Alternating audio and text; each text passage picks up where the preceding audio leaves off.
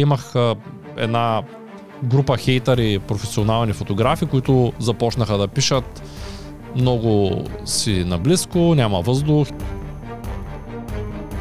или пък има много въздух, или бучиш много зле и не се чуваш.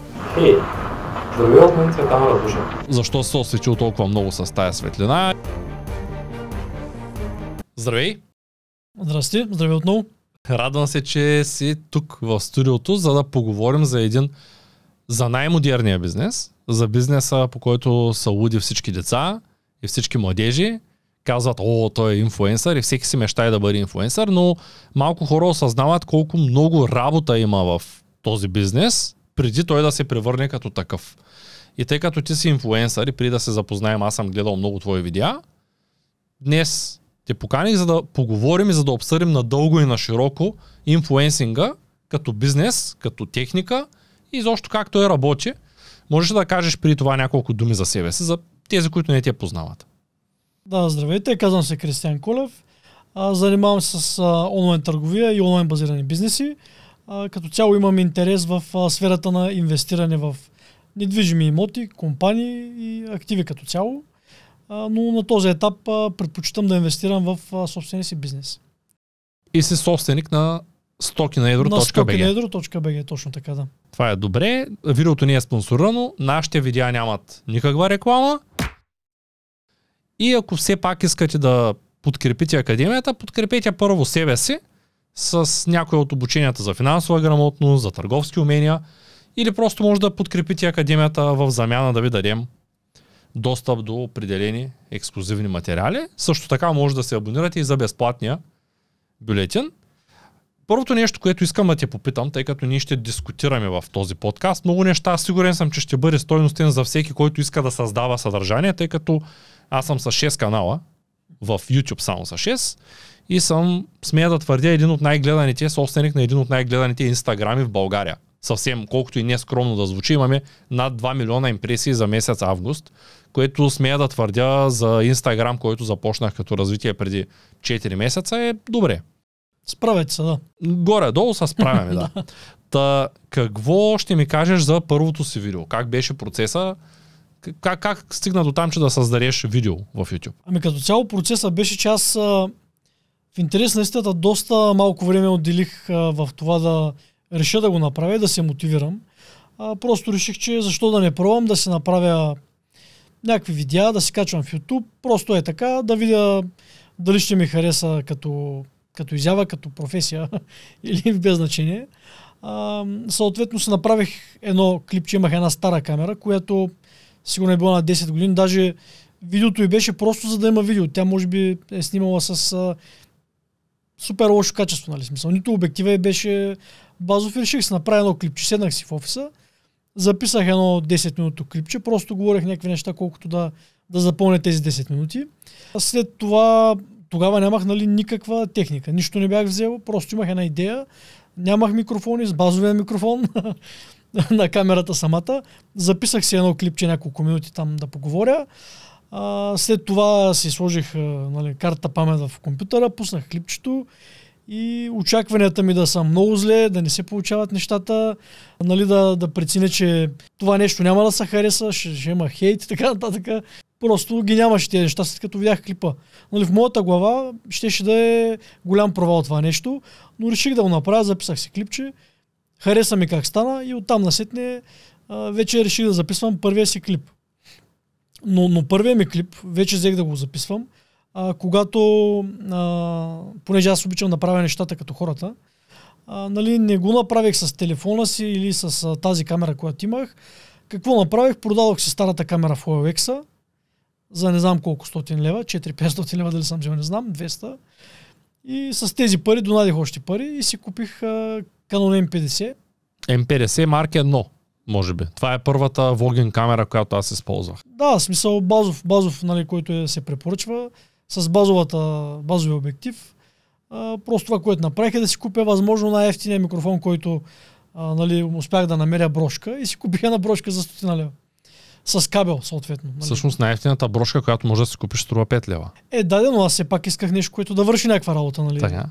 А, купих си една брошка с кабел за стотина лева, съответно този микрофон. Поръчах си студионо осветление, най-ефтиното възможно китайско. Може би дадох 300 лева за осветление. А, направих си една стена с... А... Много пари си инвестирал, между другото. А, да, но аз, нали, това пак ми е... Аз реших да го направя. Поне да изглежда добре, нали, не да си говоря пред една бяла стена и да... А, нали, аз съм такъв човек. Като правя нещо, или го правя като хората. В случая това е като хората, но това е компромисно решение. Нали, гледах се пак да, да не инвестирам много преди бюджетно, понеже не знаех докъде ще стигна. Но го направих по този начин и мисля, че резултатът е доста добър. Това е добре. Тоест почти веднага се започнал. Ами да, докато събрах техниката, може би ми отнеха 2-3 седмици, докато се за първ път сядам на компютър да правя видеомонтаж, каквото и да било. А, нали, сложих си там премиер прото.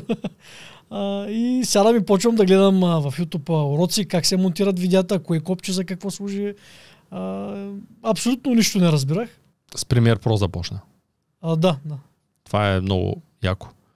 Ами, моята история е малко по-различна. Аз започнах да снимам първите видеа, които те дори не бяха за YouTube, те бяха, просто имахме семинари в София и в Пловдив и във Варна и съответно на един семинар във Варна един колега донесе едно Sony камера, най-обикновенно, което даже е на касетка записваш. Модерна работа. И така е записан първия семинар, като звука от камерата. След което реших, че в моя офис ще записвам видеа от време на време, за да мога да науча някакви клиенти на нещо. Клиенти на софтуера SM Pro, тогава бяхме създали този софтуер и си бях купил, първо си купих няколко брошки от по 5 долара, но нямаше кой да ми обясни, че брошката, 5 доларовата брошка, тя не е качествена и че няма как да изваря звук с нея. Винаги има едно пращение. И аз обвинявах дълго време компютъра си, след което реших, че по-лесно е да си купя нов компютър, отколкото да си купя микрофон. Просто така реших. Да. Купих си един компютър, оказа се, че пак пращи, обвиних електрическата мрежа в офиса, занесах компютъра в друг офис, оказа се, че е същия проблема, после смених дъното на компютъра, оказа се, че е същия проблема, купих външна видеокарта, оказа се, че проблема е същия, нямаше достатъчно информация. И така след много лута ни се оказа, че микрофона е MNT. И си купих, тогава си купих ето този микрофон, който е SM5S. Това е един микрофон, който е аудиотехника и е много, много, много интересен микрофон, като цена-качество е доста добър, струваше около, може би, 200 лева, но трябваше да му купя интерфейс. Нещо, в което, което да го захранва с кабел. И си купих един Focusrite, той е там въгъла, просто няма къде да ги сложим на маста толкова много неща. И така научих, че мога да правя доста качествено аудио на компютъра, сам, тъй като нямаше кой да ми го обясни. И съответно, както при теб, бях прочел, че M50 е най-добрата камера цена качество на пазара. Купих си M50, после купих и широковъгален обектив и така малко по малко започнах да правя някакви видеа, които да изглеждат не е много професионално, но за щастие имах а, една група хейтъри, професионални фотографи, които започнаха да пишат много си наблизко, няма въздух, или пък има много въздух, или бучиш много зле, не се чуваш, ам, защо се осветил толкова много с тая светлина да, и така. така. градивни хейтари. Градивни, да, и това бяха най- най-често срещаните грешки, които съм правил.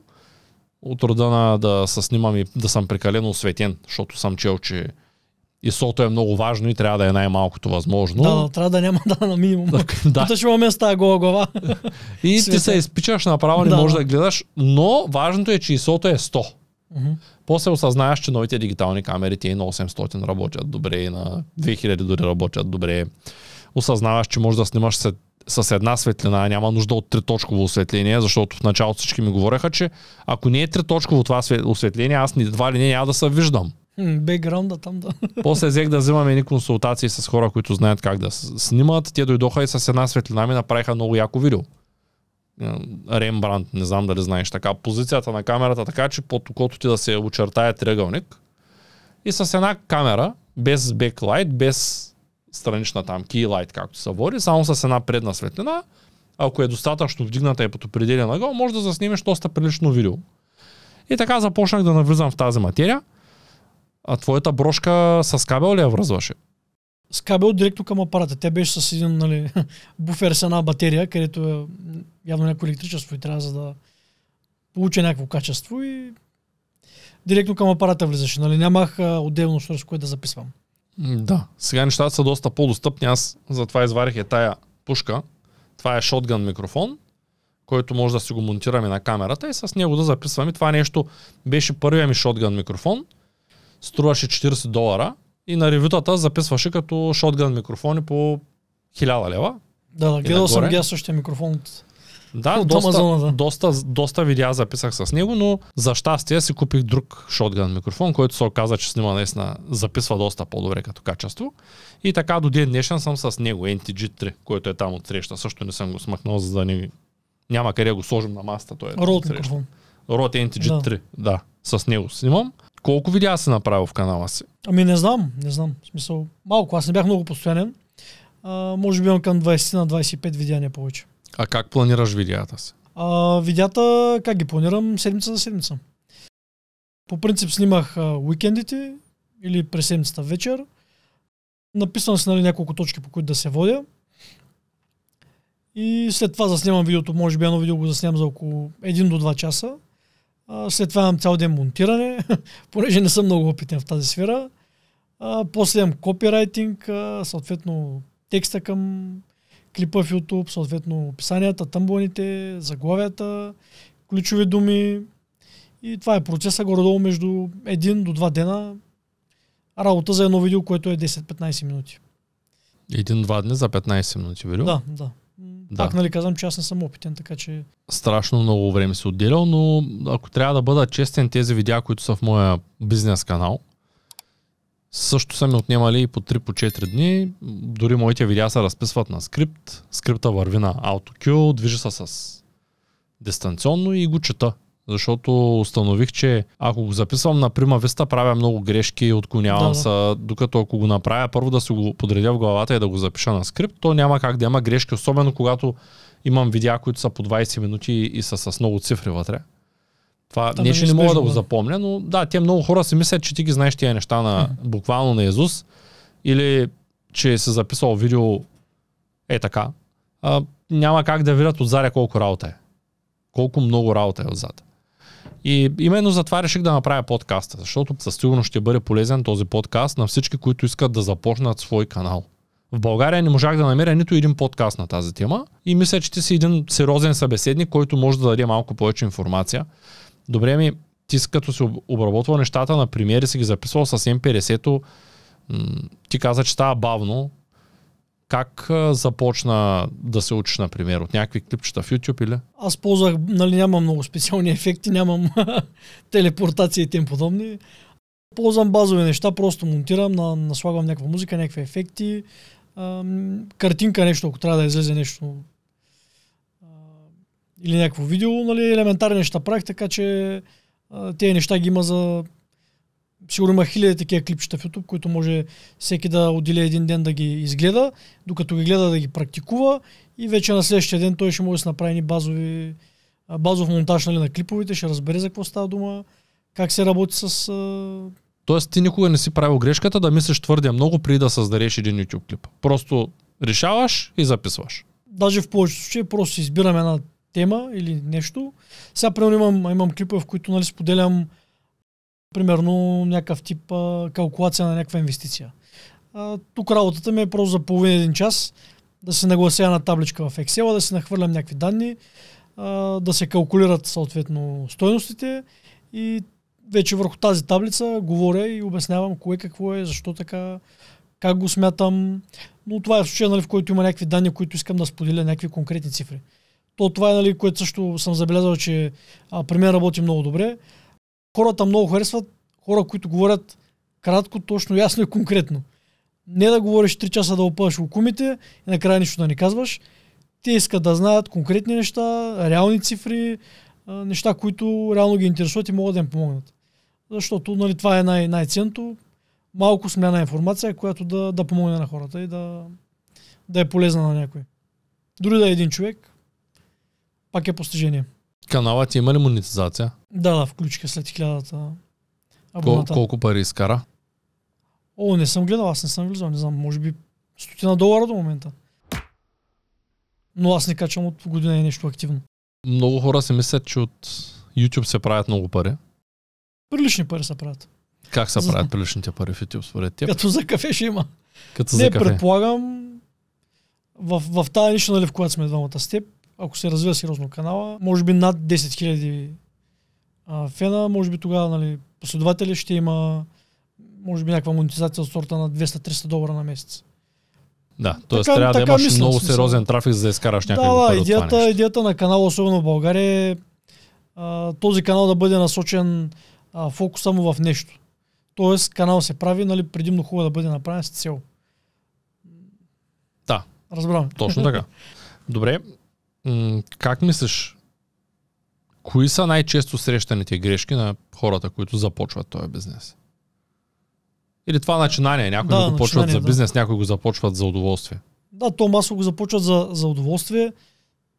Той се развива, става нали, голям канал и после тези хора ще чуят как да го монетизират, което до някъде нали, по-скоро е хубаво да е обратното, да имаш някаква идея, да знаеш какъв, какво съдържание да предлагаш а, на хората и съответно като пробваш няколко ниши, спрямо това къде най-добре се развива, най-голям интерес има и имаш най-много гледаемост, нали, почва да те лансират а, от YouTube, а, там вече насочиш фокуса си. Като цяло най-голямата грешка, която нали, може да има някой стартираш а, своя канал и като цяло кариерата си в тази сфера, е просто да не го направи. Смисъл. Реално, ако качиш пет видеа и никой не ги гледа, няма проблем, нали? В Смисъл. Добре. Аз Дори да ги изтриеш и после да приключиш, важното е да пробваш да видиш как ще се развият нещата и нищо не губиш. Като цяло риск няма.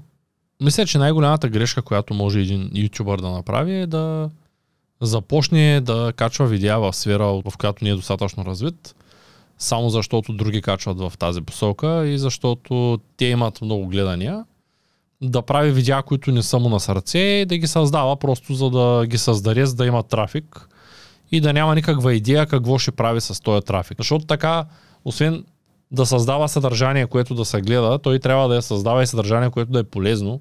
Ако качваш съдържание за финанси една година, после една година съдържание за политика, после една година съдържание за някакви неща, които нямат нищо общо с политиката и финансите, освен да намериш една аудитория, която да сприята следва, друга, която да сприята следва и после трета и накрая да ти се обърка аудиторията и, и, и накрая да не направиш едно, да направиш едно нещо, което да не е полезно на никой, друго няма какво да се случи. И трябва човек да има някаква ясна идея, като започва един канал, какво ще прави. Да кажем, идеята на YouTube канала на този подкаст е да образова хората в посока да бъдат по-добре информирани за финансите, да планират по-добре своите финанси и бизнес, да отгледат правилно децата си, да имат по-добра представа как да направят така, че те да са здрави и с тяхното семейство да е здраво и да могат в този целият процес да изградят един успешен бизнес, едно здраво семейство, самите те да бъдат здрави, да имат някакъв прогрес в финансите или в случая дори да имат по-добър YouTube канал, ако решат да правят такова присъствие. Добре. А, количество срещу качество. Ти какво би направил? Би качил повече видеа или по-малко, но по-качествени? Ами то смятам, че нали, максимума, който може да се направи качествен видео материал без да имаме екип за себе си е не повече от едно видео на седмица. Сега в крайен вариант две видеа, нали, ако и то говорим, ако това не е фокуса YouTube канала. В смисъл, ако имаш бизнес, ако имаш друга работа и така нататък, много е трудно да правиш повече от едно видео на седмица. Мислиш ли? Ами, м- мисля, ако е качествено видеото. В смисъл да е подплатено с някаква стоеност. А, но реално и двете неща са важни за, за алгоритъма. Колкото повече видеа има, толкова по-голям шанс имаш някой от видеята да бъде нали, следващия в тренинг да влезе, да има много трафик към него, да, да придобиеш много нови сабскрайбъри. Аз също смятам, че едно видео на седмица на мен ми е окей. А, нали, говоря за себе си, за това, което аз правя, за времето, което бих отделил да развивам този канал, а и това е нещо, което ми, ми е окей да го правя като време, което отделям. Какви са очакванията ти за, за канала? Ти защо спря първо и после какво очакваш да постигнеш с твоя канал, който е за имоти? Ами, като цяло спрях, понеже то в много лош момент спрях. так му нещата взеха да се ескалират много. И да имам, така да се каже, експоненциален растеж. А, а спрях, понеже започнах да развивам няколко бизнеса, защото а, нямах, нямах тази посока, за която спомена. А, реално видеята ми са свързани в сфера с инвестиции, недвижими имоти предимно. А на мен това ми е хоби, аз нямам толкова много опит, за да споделям ежедневно, ежеседмично толкова много информация и трябваше да, да, се, да, да мина в а, сферата на да презаснемам чужди видеа.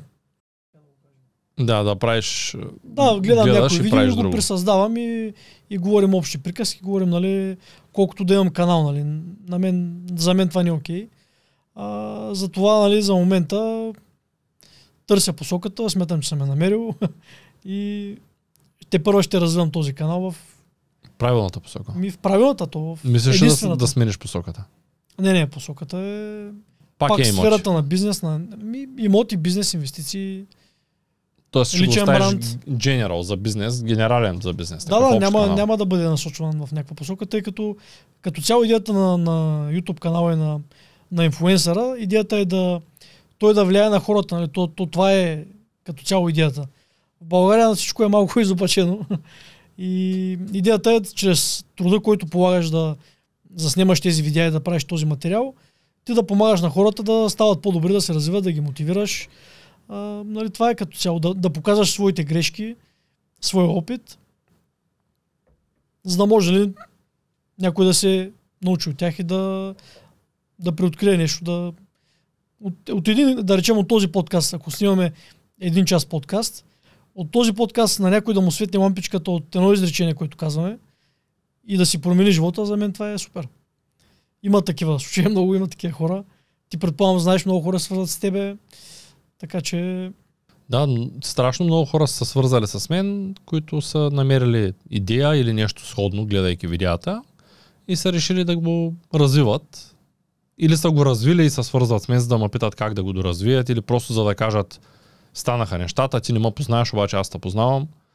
Та, това, е, това е готино. И всъщност това е идеята. Да помогнеш на хората по положителен начин, с, може да е с идея, може да е с мотивация, може да е с информация, която реално решава техния проблем, защото и това се случва често. 4K или Full HD? Ти най-вероятно се снимал в Full HD, но Да, някога замислял ли си защо да е 4K, а не Full HD, да речем? Е, той отговора е ясен. Като някой гледа видеото след а, няколко години, когато вече 4K бъде наложен формат и а, масово се използва от устройства от всичко, а, това видео след 5 години ще изглежда като току-що заснето. А, в момента като снимам на, на Full HD, Ще се личи разликата. Ами да, все едно да гледаме филм от 70-те и дори филм от 2000-та година и 2005-та и филм от а, миналата година. Разликата е космос. И се смеем на предния филм, на ефектите специалните и на... Точно така, това е моята идея. Добре, ти като започнеш сега да снимаш, мислиш ли да инвестираш в някаква камера нова? Мислиш ли си по този въпрос? Ами, като за момента за момента нямам намерение да инвестирам в нова камера. Може би ще снимаш Мисля, в, че- с M50. Поне, поне тази година. То нямаше ли ограничение 30 минути? А, Или не? Мисля, че до 60 е снимало. Не съм Не сигурен. съм много сигурен, тъй като то беше доста отдавна, когато подмених моето с... Не, мисля, че до 60 снима, няма проблем. На мен първата ми 4K камера, всъщност то M50 поддържа 4K, но първата ми 4K, която да снима 25 фрейма без да, Да, да. отрязва половината картина и да има някакъв сериозен проблем с фокуса, както има при M50, като пуснеш 4K, а, беше Alpha 6400, каквито са всъщност тази камера, която е срещу мен и тази срещу теб. И доста трудно стана с обработката, да ти кажа. Тук ще отворя една скоба и ще кажа, че ако, ако няма прокси, копия на оригиналния файл с много по-малка резолюция, може би няма да се справим с обработката на тия подкасти, тъй като три камери в 4К снимат много като, като информация Да. и при обработка е доста тежко. Добре, т.е. стигаме до извода, че 4К е по-добрия вариант, но трябва компютър, трябва сериозна камера и трябва Говорим сериозна обработка. за, за, нали, за професионално, професионален продукт. Нали, тук вече прехвърляме, както с тебе говорихме и за картата памет, нали, то там не може да сложим обикновена карта памет. А, микрофони, осветление, тук са вече говорим за десетки хиляди инвестиция, което а, реално стартово е плашещо, така че Да, тук трябва да отворя една скоба. Искам да обясня малко повече за техниката, тъй като със сигурност хората, които гледат, някои от тях ще се интересуват кое какво се случва и как става. Това е един род, с който се записвам подкастите. Той е предимно за подкасти. И да кажем, че едно такова устройство, сега излезе новия модел, който е по-добър само за хората, които свирят на инструменти. Тоест няма кой знае какво. Малко дизайна, дисплея малко по-надигнат и някакви такива неща. Има няколко букси за китара, електрическа. Направили са го освен за влогинг и за подкаст, са го направили и за хора, които свирят на инструменти. И цената на едно такова устройство върра, но на добра цена е около 1200 лева. Тоест, говорим само за устройството без карта, без микрофони. да, да. Микрофоните, това на което снимам, това е Procaster и да кажем рамото е още 200 лева, кабела няма да го бурим, това не е кой знае каква инвестиция. 100 лева за кабел, примерно. не, може би са по 20 лева, Да, нямам никаква идея, но не е кой знае Като колко. сумираме много. всичко е...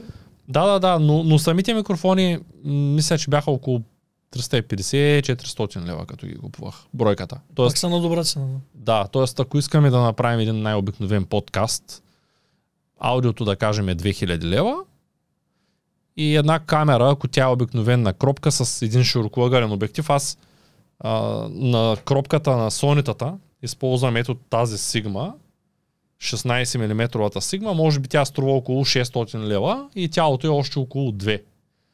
Да кажем, че ако иска човек да направи подкаст с осветлението, може би, може би това без компютъра ще му трябват с една камерка Да.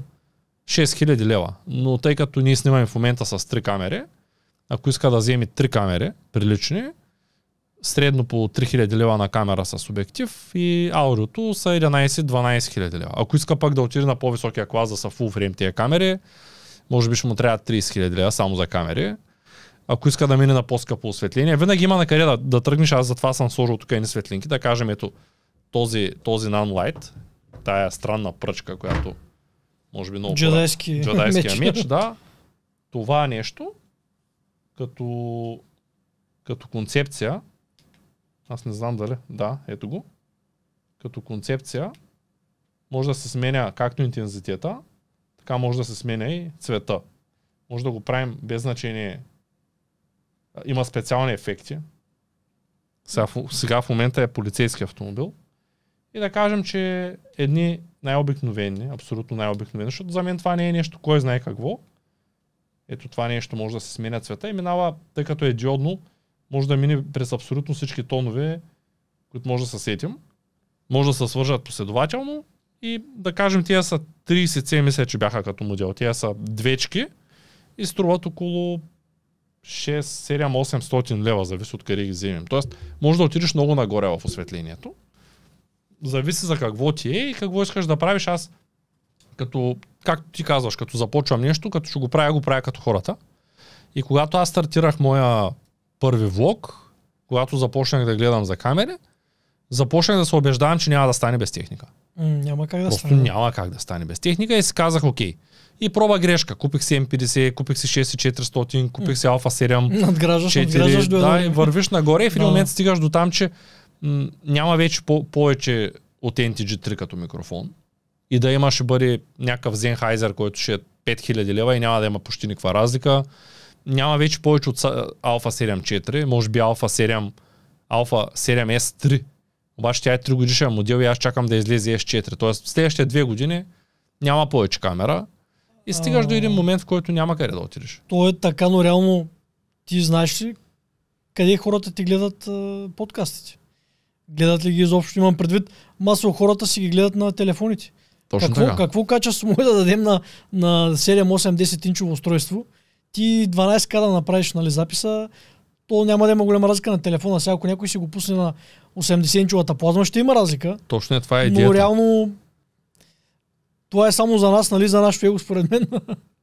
а, да имаме хубава техника и за, за в последствие, нали, както говорихме. Да, обаче не мога да върна времето назад. Ако в момента имам парите и искам да развия един устойчив бизнес, както ти каза, след 10 години да изглеждам адекватно, Абсолютно, да. ако аз този бизнес съм казал, че ще го развивам целия си живот. Тоест аз ще правя инфлуенсинга целия си живот.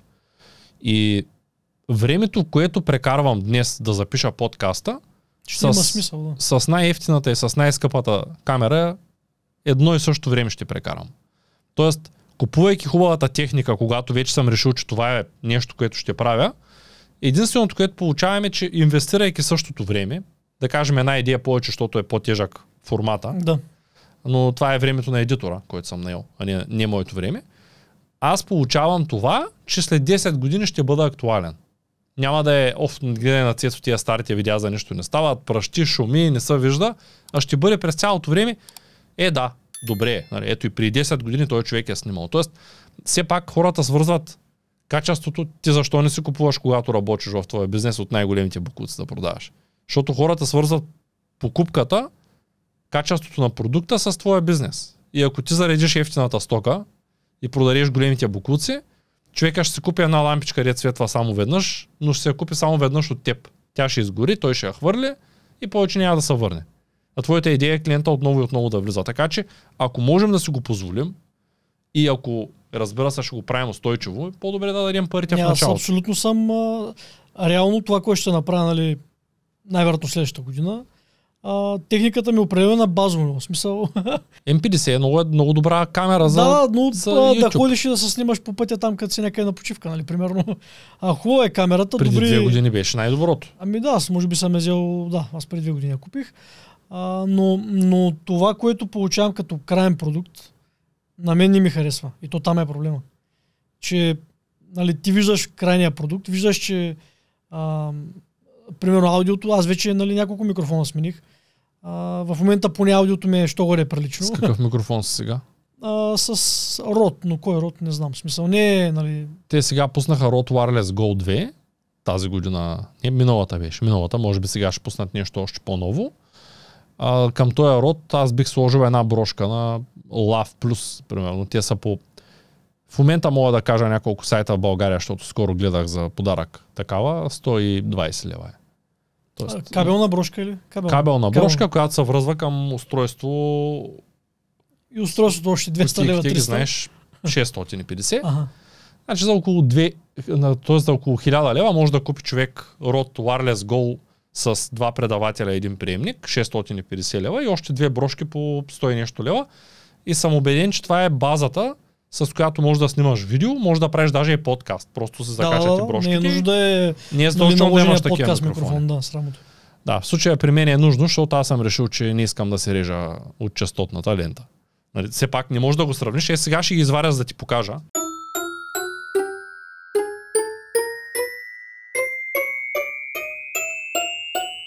Ето, за да не говорим на изуст. Да ги видим, да. Така. Това е това е предавателя народ. Това е приемника народ. Това е другия предавател. Те са комплекта двете. Като има Wireless Go 1. Разликата е, че тук има памет и ако случайно не си свържеш кабела, остава в паметта на, Да, да, на този род. Което е добре. И към него се връзват брошки, като това е брошката, която ти казах, че струва 120-30 лева, като аз като ги купувах бяха доста по-скъпи. Сега малко им падна цената по някаква причина. Може би излезе нов модел. Това е, това е микрофончето, на което като инструкции пише да, не, да внимаваш да не се обесиш, защото е много здраво. И все пак тук се пита в загадката, можеш ли да ги сравниш? И мислиш ли, че това нещо ще изкара качеството на това нещо. Фи- Физически няма как Не, да се няма как да стане, Нали, каквото и да си За говорим. мен тази брошка е по-скоро за... Те, те се ползват много в... А, нали се връзва към телефон. Да. Да, идеята ми е, че това се ползва точно като пътуваш някъде, като си извън студио, да имаш прилично аудио, нали? Няма да е Точно за това перфектно, но идеята на това нещо е за снимки навън. Ако снимаш нещо навънка и тогава ползваш тази брошка. Точно за това го ползвам. Да, то реално ние минаваме, това е подкаст микрофон за домашни условия, но ние трябва да имаме нали, един микрофон над главата, зависимост от кадрите. А, за навън трябва да имаме решение как да снимаме. Точно така. И аз ползвам тези микрофони за GoPro-то, което GoPro го вкарвам в Media Mac. Не знам дали се снимал с GoPro. Не, не съм. И тъй като то няма изходи, Media Mac му дава възможност да вкарам такъв външен микрофон. Мгм. Без това няма как да вкарам Да, външен микрофон. И така може в колата човек с едно GoPro, с един Media Kit и с един микрофон на род да се направи идеалното снимачно, е, идеалната снимачна техника. Като да кажем едно GoPro е 800 лева, с микрофона, с медията е около 200, да кажем, може би за около 2000 лева, човек може да има два микрофона на род с две брошки, с... Казвам две, защото разликата между това с сингъл предавател, единичен и с двоен е, няма и 100 лева. Да, Тоест се не заслужава да, човек да, да се купува- парите за... Ами утре ще затрябва да кажем, ще влезе някой друг колата и ще затрябва Да, събеседник и да. приключваш. Няма А смисъл. добре, какво е мнението ти за хора, примерно, които дори и хардуерно им е трудно да го организират, а, да си използваме смартфоните, понеже знаем, че в момента смартфоните са доста така с добро качество снимат видео. А, сега ти ще кажа за андроидите, аз за Аз iPhone бих казал да си купят, убеден. ако искат нещо много бюджетно, да си купят един iPhone 6s. Даже имам втора такова ръка, видео. може. Да, имам такова Да. видео, което се казва качеството няма значение.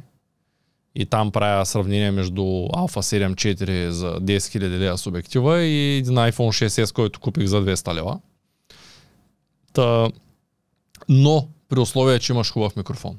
Да, да, говорим с външен Защото микрофон. без да. хубав микрофон, То аудиото е нула там. Та, на iPhone специално един Lightning кабел към 3.5, ако си с нов iPhone, тъй като 13-ката няма да стане без преходник. Да, да.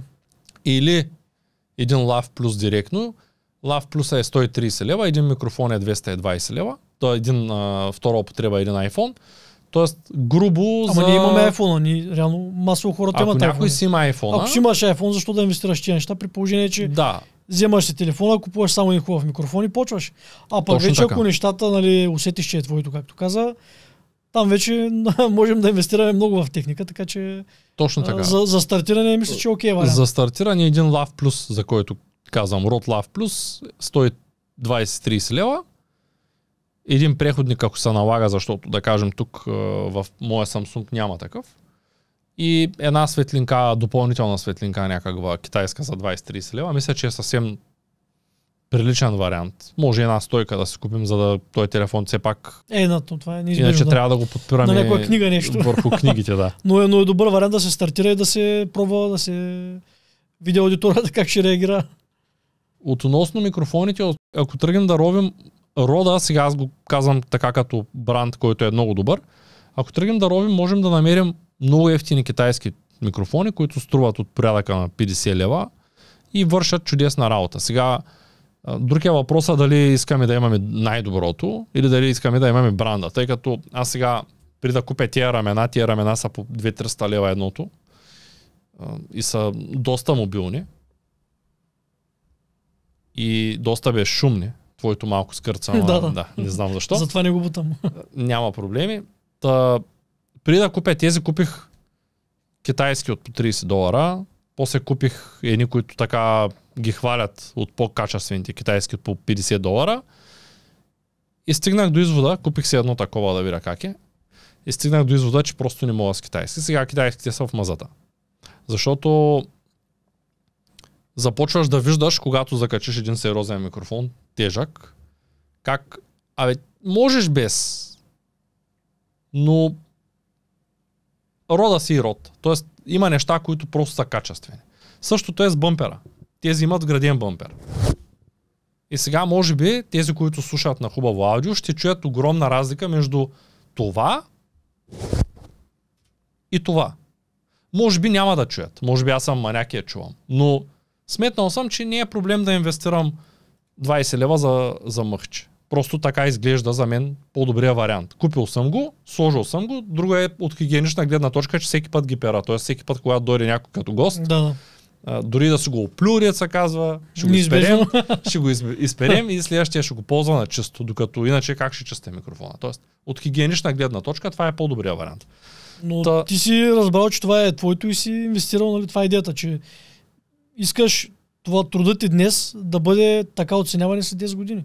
Да, ние затова направихме платформата от нула до успех. Има подкасти. Тези подкасти, които записваме в момента, не знам, може би не знаеш, те влизат в Spotify, влизат в Google Podcast, влизат в 7-8 други платформи автоматично. Тоест от Zero to Success BG може да ги слушаш, може да ги слушаш и от доста други места. Подкастът е същия, но аудиторията е различна. Има хора, които не влизат в YouTube. И по този начин те също могат да ги слушат, било то от сайта, било то от Spotify, било от някъде другаде, от Google Podcast. Трябва да сме навсякъде, то това е истината смисъл. Има ли нали, социална мрежа и платформа? Точно поради тази причина започнахме да правим content repurposing или иначе казано режем определени елементи, които са по-интересни от видеята, пускаме ги и така трупаме бързо аудитория. Това също е доста добър вариант да наложим нашия бранд. Някои казват, да кажем, ти сега се занимаваш с стоки и може да кажеш, ами то аз няма как да създам видеа за стоки.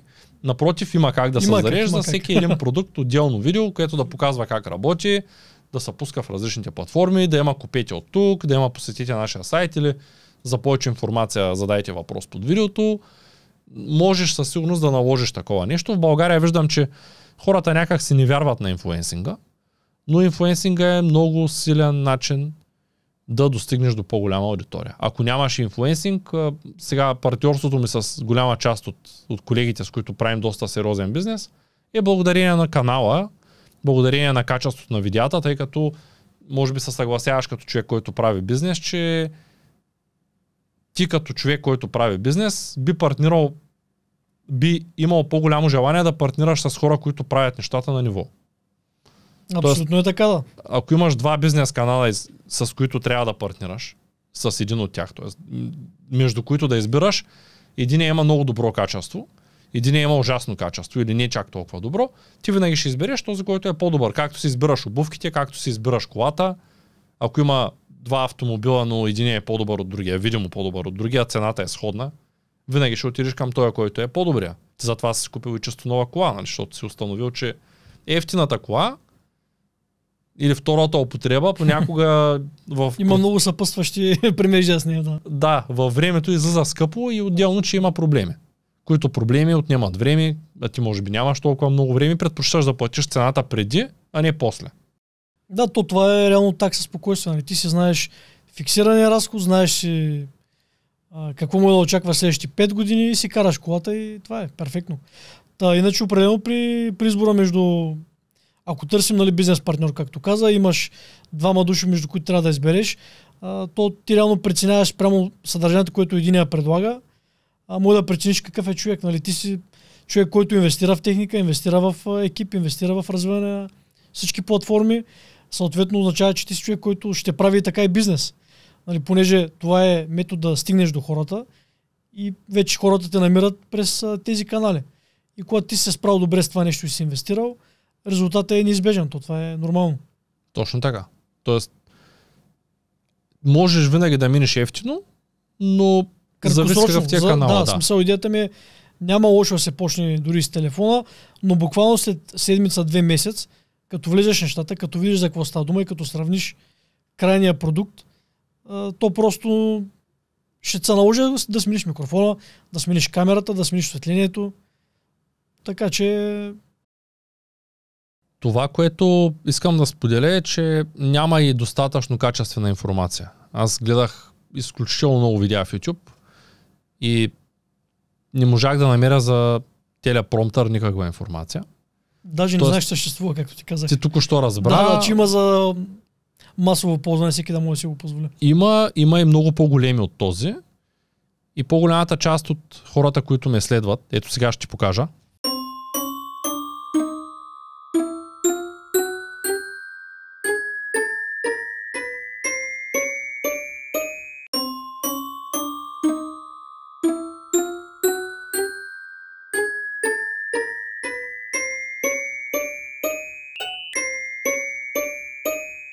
Ето да речем, това е новият ми телепромтър, който е доста по-голям.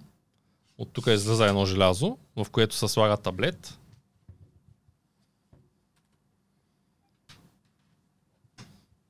В началото бях с телефон, но после когато започнеш да снимаш професионално и когато обектива е на повече милиметри, трябва да се отдалечиш от камерата, следователно от телефона не може. Та таблета се поставя тук. Това като информация почти не съм го намирал в интернет. И сега можем да четем директно от таблета на телепромтера, като си го наместим срещу камерата и самата камера влиза отзад. И това става AutoQ, т.е. четеш и имаш AutoQ. И с едно дистанционно, само момент да го намеря и него. Да, и има софтуер, с който с това дистанционно, което струва там оригинално китайско за 10 лева, може човек да скролва това, което вижда и да чете без да са вижда, че чете, тъй като може да си направиш екрана мъничък и той да стои зад. И това нещо ти спестява страшно много от обработка, между другото. Защото ти сам каза, че един час видео го правиш 10 минути материал. Представи си да записваш 10, 10 минути, минути да. 10 минути видео, което да си го скриптирал час-два, но пък нямаш обработка, защото всичко е наведнъж записано.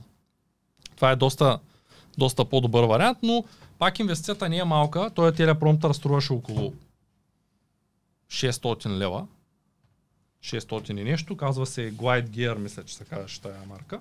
Да, Glide Gear. Беше около 250 евро от Германия го поръчах от Амазон. И трябва да имаш таблет. Да, да, но тази инвестиция, като я обърнем, нали, знаеш, че най-ценният ни актив е времето, така че а, колко време ще загубим в а, монтаж, в заснемане, това нещо не го спестява и продуктът е много по-качествен. Така че тази инвестиция за мен е даже е ефтина. Смисъл. А, това е като с едно време, като са снимали а, репортерите, хеликоптер с а, пилот, с човек с камерата, журналист. И в момента дигаш дрона и снимаш. Ти вече си а, хеликоптера, ти си човека с камерата, да. Точно така. Развиват се нещата, така че това е перфектно, да. Да, и не е задължено да си купува човек таблет. Може е, да си купиш каза, и... с телефон си почнал, така че и с по-малкия вариант. Малкия, малкия Но китайски не, телепромптър, да. телефончи или някакъв ефтин таблет, има и много ефтини. А, моя първия таблет беше S6 Lite, който беше около 300 лева втора употреба от Емак. S5, S6, май S6 Lite беше, докато сега тая година си купих S8, защото си воря бележки като пътувам и реших, че ще си купя един малко по-хубав таблет. Те са вече около над 1600 лева, но върши работа и за бизнес. Тоест, да. а, ние, ние работим с графики, Notion, аз а, тук имам Dex, т.е. мога да го вържа да го, с допълнителна клавиатура го нося, мога да го направя като лаптоп да ми замества. И е доста по-удобен, тъй като с лаптопа като тръгна това е доста компактно. Нарочно взех и малкия вариант.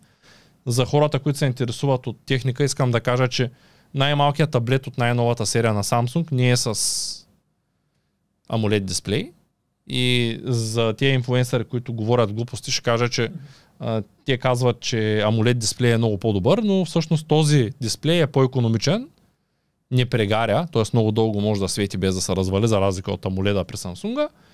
И същото време, понеже е малкият вариант, може да се сменя херците. Падат му херците. Докато AMOLED не може, няма автоматичен адаптивни херци. Та се оказа, че най-малкият вариант от таблетите на Samsung от новото поколение е по-добър, отколкото средния и големия.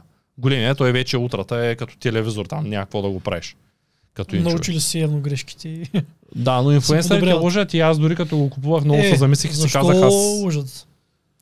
Ими, Афилият линкове. Нямат време да четат, може би, и казват LCD не е хубаво, LCD не е хубаво, и аз започнах да чета и някой каза, друг че... е казал така и...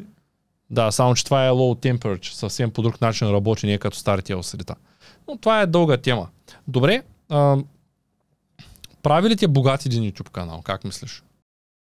Зависи как ще го използваме. Ти каза, че монетизацията е 100 долара на месец. В да, да, случай... въпрос, е, въпрос е, че това е много добра платформа да се изгради личния бранд, хората да, както ти казваш, ако търсиш бизнес партньор, да знаеш с кой да, да знаеш кой човек срещу теб стои, да го опознаеш по този начин, да видиш какво се занимава, да видиш в какви насоки може да си бъдете полезни. А, така че в, а, ако говорим нали, в финансово измерение, а, вариантът е през а, контакти. През а, да намираме там клиенти в а, Тоест, ако ти искаш да развиеш успешен бизнес с други хора, това те прави разпознаваем, т.е. ти помага. Да, и като цяло за, за в момента смятам, че най-добрият вариант е бизнеса да вари успоредно с YouTube или като цяло инфлуенсинга. Тоест, или самия бизнес да бъде в всички мрежи, или ние като а, личен бранд да спомагаме да се развива бизнеса. Нали? Това за мен е много добър вид а, симбиоза между двете неща. Да използваме YouTube канала, да си а, промотираме нашия бизнес, да промотираме нашите продукти и оттам да изграждаме нещо стабилно, нещо, което да носи реални доходи, което може да скалираме. Нали, това, е, това е добър вариант и правилно използване на YouTube канала, според мен. Това е супер, да. Аз искам да ти кажа малко повече за алгоритъма, който използва моя екип за обработката на видеята, за да стане малко по ясно на зрителите колко неща трябва да направиш преди да обработиш едно видео. Първо видеята, като се запишат, те се смъкват на компютъра и се създават прокси файловите, т.е. копия на големия файл, който, което да е малък файл. Ние работим върху малкия и после при експорта вземаме големия, защото иначе един подкаст става около 500 гигабайта на час. Т.е. 2 часа материал става 1 терабайт, което е доста тежко за качване, за смъкване, но е много тежко за обработка. Та едитора по този начин може дори да изтегли само малкия файл. После аз ще го сгубя тук и мога да го експортна на специална машина, която е рендър машина. Та, как, какъв алгоритъм съм описал? Нали, най-базовия, който мога да спомена. Това е наистина най-базовия. Първата стъпка е да се изтеглят материалите от драйва. PiCloud, Google Drive, Mega Upload, там един от многото варианти. Втората стъпка е да си именуват правилно папката. После създават една папка Materials, в която се теглят нещата от банката, там допълнителни снимки, допълнителни видеа и една футич, където сгубяват тези материали, които ние ги записваме. Втората голяма стъпка е да се махне излишното от аудиото, да се направи noise cancellation, adaptive, adaptive audio level, там има едни такива настройки на аудишана, т.е. точно определени неща, като едното е match loudness и така нататък като настройки – после трябва да се сложи пресет. Пресета е как да изглеждаме ние, за да имаме нормален цвят. Uh, и да се синхронизират тези три видеа, да вървят спрямо аудиото. Аудиото идва от тук, трите видеа идват от трите камери, за да могат да вървят заедно, за да може да се превключва от камера на камера. И така, след като оправим цветовете, след като синхронизираме, след като ги направим вече на, на файл, който може да върви с отделните камери, и почваме да режем махаме излишното, добавяме музика, добавяме материалите, записваме го като проект и след това трябва да го експортим вече като, като крайен продукт. Докато, естествено, докато обработваме, трябва да можем да отцепим определени малки парченца, които отиват за другите мрежи, които са в случая за България TikTok, Instagram, YouTube Shorts, Facebook. Facebook и Instagram са свързани, те работят заедно, те са на, на, една, на една на една обща фирма са. Да, да. Та, на тия малките парчета пък трябва да се напишат субтитри, защото сме установили, че когато пишеш субтитри, се качва гледаемостта с 30 до 50%. Да, масово хората тръгват клипчето и те не чуват нищо и го подминават. Ако ги хване текста... Точно така. Другото е първата секунда трябва да има някакъв ефект, да става черно-бяло, да се приближава, да ги грабне, Другото е, че трябва накрая да има call to action, т.е. да казваш да отиват към друга мрежа. Хубав подход е, когато е кратък клипа, да не може да разбере клиента кога свършва. Тоест въпрос-отговор, въпрос-отговор, въпрос-отговор и после почва с първия въпрос. И понякога човек се заглежда и го гледа два пъти. Или го гледа един път и половина, даже някой пъти по четири пъти, ако е интересно. И това нещо дига average view duration, т.е. алгоритъма казва, а това клипче го гледат по четири пъти. Значи е много важно и по този начин му се качва, това нали се казва retention, колко се фокусирам в видеото и по този начин се качва гледаемостта. Интересното ново при алгоритмите е, че TikTok засича кога се усмихваш с камерата ти. И когато се усмихваш, той ти дава от този материал, на който си се усмихнал повече. Когато си нещастен, ти дава по-малко. Тоест, ако ти се усмихнеш срещу едно видео, от този инфлуенсър видеята ще започнат по-често да ти излизат. това не го знаех. А, това е ново в алгоритъма, което е доказано, но те няма да си кажат, че го правят със сигурност, защото това е... А, Търговия с информация. Значи, освен, че ни слушат и ни ги гледат. Разбира се, гледат ни, слушат ни, няма да се очуди, ако има някой сензор да хваща и аромата ни, да знаят какъв парфюм ползваш, да речем. Ти не знаеш колко в тези телефони, така че не е изключено. Няма как да разбере, има прекалено много електроника. Да, да. Та, това е много важно и относно тъмнелите, искам да спомена нещо. Ние установихме, че белия фон работи най-добре. Установихме, че най-добрият вариант е главата ти да е по-близо до камерата, т.е. да е приближен, да ти се виждат очите. Това е нещо, на което цъкат хората повече. Click to rate ratio се казва. Колко го виждат и колко кликат, може да стигнеш до 30%. Но на всеки тъмнел трябва да си ти. Нали, то това е идеята да си изградиш Ако бранд. искаш да изградиш бранд, Да, да. като ние използваме един софтуер, тук също отваряме една голяма скоба, софтуер е много, но ние използваме TubeBuddy. Защото TubeBuddy има една функция, която се казва A-B тестинг и можеш да пуснеш на един клип две различни заглавия, два различни тъмнела, да ги върти през определено време и да ти каже с този тъмнел резонира по-добре, отколкото с други. Ако погледнеш видеята ми в канала, ще видиш, че всеки ден те са с различна картинка. Не Защото има едни хора, които постоянно качват и след време гледат теста и казват, окей, тук кликат. А, сега цифрите при един нормален потребител нямат значение. И той ще каже какво пък значение има. Обаче представи си, че го правиш за бизнес. Е в дългосрочен план, да. Да. По-добре представяш се тъмнел. Представи си, че в единия случай имаш 40, 50 или 70% повече гледаемост. Аз мога да ти кажа, че ако един канал го развиваш, да кажем, с, расте с 5% на месец, да кажем, ако хванем 100, цифрата 100, 100 абоната и, и дръпнем увеличение с 5% за 36 месеца. И после да хване 100, увеличение с 30% на месец за 36 месеца. И разликата в циф- цифрите ще бъде умопомрачителна. Тоест, едни 40%, 50%, дори 20% разлика в дългосрочен план водят до огромна разлика в финансовия резултат накрая или Те в цифрите. 5 до 10 пак е огромно. нали? Тук вече намесвам и сложната лихва. Да, ако, Снежната топка, те се натрупват, натрупват и то става... ако го знаех това в началото на канала, сега щеш да бъде с 100 000 абоната, а не с 15 000. Или с 16 в случая. Това е, това е което искам да отворя като скоба, тъй като темата е огромна, тя няма край. Аз съм сигурен, че хора, които се занимават с инфлуенсинг, те, които снимат с дронови, те, които снимат по две камери, те, които пък правят външен влог, защото навън е още по-трудно. Те знаят много. Няма друг начин, ако не знаеш как се снима. И стигаш до едно определено ниво, аз виждам, че повечето влогари стигат до едно ниво и после вече не им се занимава. И правят едно и също. Дори забелязах тук някои от големите канали как една и съща музика пускат всеки път. Е по-лесно, е, да. Ти само да избереш музиката, колко време е да отделиш, за да избереш нали, правилната музика, да напасеш прямо видеото, така че разбираемо. А ти мислиш ли да пуснеш подкаст канал бъдещи или смяташ, че подкаст канал е много голяма инвестиция от към време? М, да ти кажа честно, не. В смисъл, че не мисля да пускам подкаст канал. Добре, тогава винаги си добре дошъл на гости отново, за да говорим за имоти, за инвестиции, за нещата, с които ти се занимаваш, а може би и за инфлуенсинг. Може би след 6-7 месеца ще има нужда да направим ново такова видео. Искам преди да приключим с този подкаст, да поканя хората, които се интересуват от това, с което се занимаваш, да последват видеото тук горе и да видят как работи твоя основен бизнес. Благодаря за гостуването. Благодаря за поканата.